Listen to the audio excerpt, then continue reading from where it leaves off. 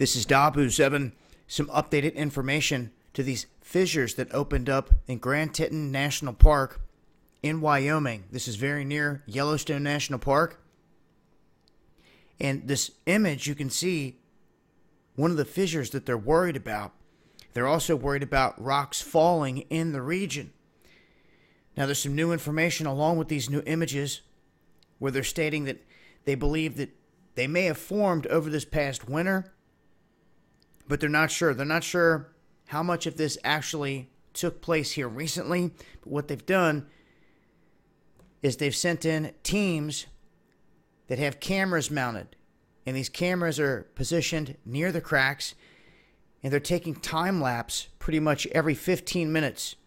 And then they're also using some highly sophisticated and very accurate GPS coordinates and other methods to try to build a map of which way the Earth is moving here.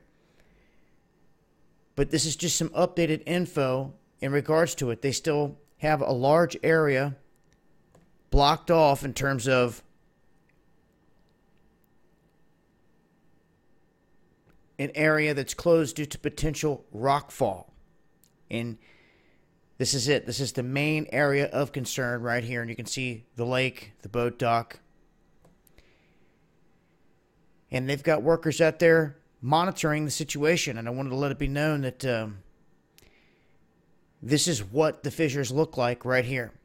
And it reminds me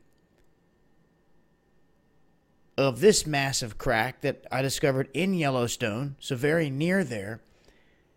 And it was just wide enough to slide up into and through. And you can see me here doing just that. But that's that's the first thing I thought of when I had witnessed this image for the first time. But that's some updated information in regards to that. I'm going to leave a link. I'll update via Twitter if I come across anything else. Hit me up, dahboo7yahoo.com. You got anything you want me to report on? And make sure to tune into Underground World News Live, Friday night, 8 p.m. Eastern, Dahboo77.